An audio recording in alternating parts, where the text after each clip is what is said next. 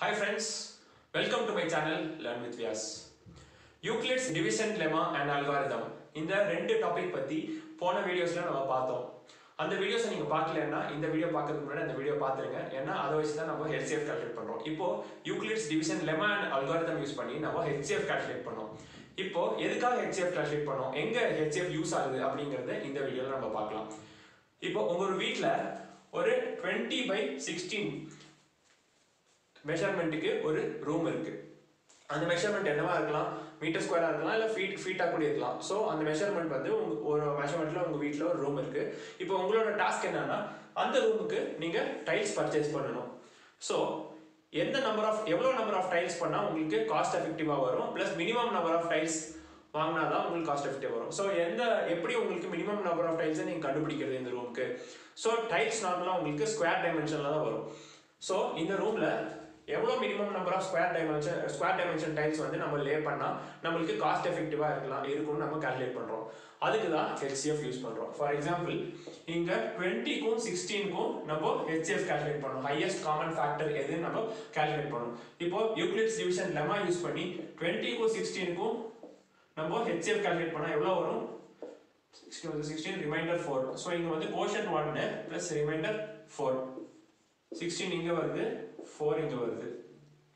So சிக்ஸ்டீனை ஃபோரால் divide பண்ணுறோம் ஃபோர் ஃபோர்ஸா சிக்ஸ்டீன் ரிமைண்டர் ஜீரோ வந்துருச்சு. இன்டூ ஃபோர் ப்ளஸ் ஜீரோ இங்கே ரிமைண்டர் ஜீரோ வந்தோடனே நம்ம ஸ்டெப் இங்கே முடியுது. நம்மளோட ஹெச்சிஎஃப் வந்து ஃபோர் இப்போ நம்ம இதுலேருந்து என்ன நம்ம தெரிஞ்சுக்கிறோம்னா four by four tiles four by four tiles போட்டால் மட்டும்தான் இந்த ரூம் வந்து எக்ஸாக்டா மேட்ச் ஆகும். ப்ளஸ் நம்மளுக்கு காஸ்ட் எஃபெக்டிவாக இருக்கும். ப்ளஸ் மினிமம் நம்பர் ஆஃப் டைல்ஸும் வரும்.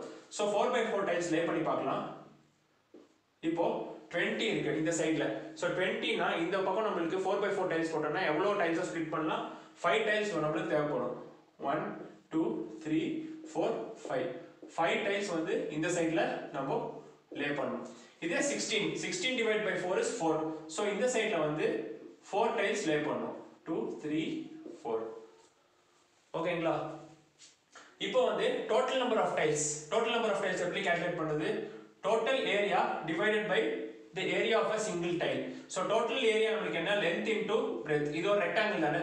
So area of rectangle is length into breadth divided by the area of a single tile. Area of a single tile என்ன?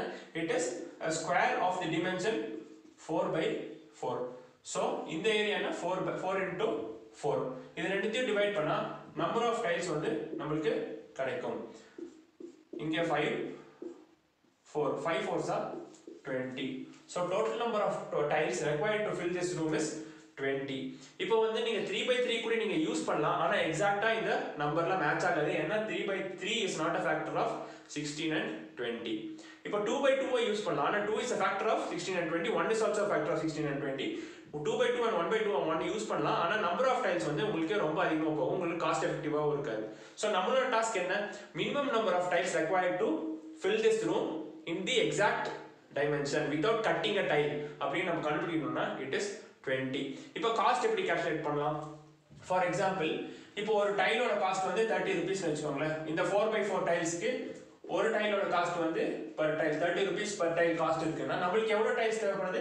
டுவெண்ட்டி டைல்ஸ் தேவைப்படுது. ஸோ டுவெண்ட்டி டைல்ஸ்க்கு thirty rupees அப்போ எவ்வளோ வருது? நம்ம டோட்டலாக சிக்ஸ் ஹண்ட்ரட் ருபீஸ்க்கு பர்ச்சேஸ் பண்ணோம் so total cost of purchase for laying this room is six hundred rupees இப்போ உங்களுக்கு ஹெச்எஃப் யூசஸ் வந்து ஓரளவுக்கு கிளாரிட்டி கிடைச்சிருக்கும்னு நினைக்கிறேன்.